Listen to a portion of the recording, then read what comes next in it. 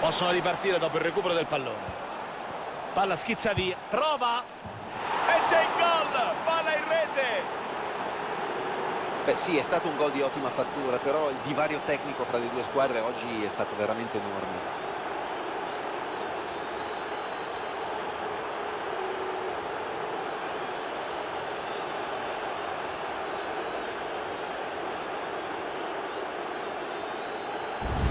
Non si fermano più, ne hanno fatto un altro proprio nei minuti di recupero. Non si accontentano di vincere, vogliono umiliare la squadra avversaria.